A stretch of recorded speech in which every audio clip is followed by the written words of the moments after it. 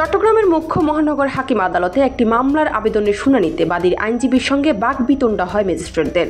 এ ঘটনার পর বিচার কাজ স্থগিত রেখেছেন ম্যাজিস্ট্রেটরা।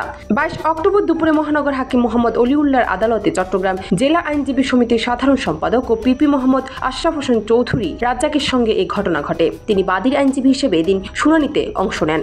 এরপর হাকিম অলিউল্লাহ ইজলাস থেকে নেমে মুখ্য মহানগর হাকিমকে বিষয়টি অবহিত করেন। কিছুক্ষণ পর মুখ্য মহানগর হাকিম আদালতের অধীনে দশজন বিচারকের সবাই এজলাস ছেড়ে দেন। আইনজীবী আশরাফ হোসেন চৌধুরী রাজ্জাক গণমাধ্যমকে বলেন, সতেরো জুলাই মুরাদপুর ঘটনায় আহত শোয়েব ইমরানের একটি মামলার আবেদন নিয়ে আমরা মেট্রোপলিটন ম্যাজিস্ট্রেট দুইয়ের আদালতে যাই। মামলাটি যাতে থানায় এফআইআর হিসেবে না হয়, সে আদেশ চেয়েছিলাম। এরপর নিয়ম অনুসারে বাদী আদালতকে বারো থেকে চোদ্দ জন আসামির নাম বলেন। কিন্তু বিচারক বাদীর কাছে সব আসামির নাম জানতে চান। তখন আমি বলি, এত নাম বলা সময়ের ব্যাপার।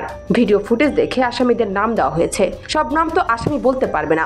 এরপর আবারও আদেশ চাই। এবং উনি বলেছেন, অজ্ঞাত আরও আসামি আছে, ওদের, ওরা ভিডিও ফুটেজ থেকে আমরা ওদের নাম দিয়েছি। বিচারক বলেন, আমার কাজ আমাকে করতে দেন। তারপর তিনি মামলার আবেদনটি তদন্তের জন্য পুলিশ ব্যুরো অব ইনভেস্টিগেশনের আদেশ দেন। আদেশ পেয়ে আমি কৃতজ্ঞতাও জানাই। এ সময় বিচারক বলেন, আমার কোর্টে জোর খাটানোর চেষ্টা করবেন না। তখন আমি বলি, জোর কোথায় খাটালাম? এরপর এজলাস থেকে নেমে তিনি মুখ্য মহানগর হাকিমের কাছে যান। তারপর সিএমএম আদালতের সব বিচারক নেমে যান। এদিকে বিচারকরা এজলাস থেকে নেমে যাওয়ার পর বিএনপি ও জামায়াতপন্থী আইনজীবীরা চট্টগ্রাম আদালত ভবনের দ্বিতীয় তলায় মহানগর হাকিম আদালতের সামনে গিয়ে বিক্ষোভ স্লোগান দিতে থাকেন। জান্নাত পিপু দেশ রূপান্তর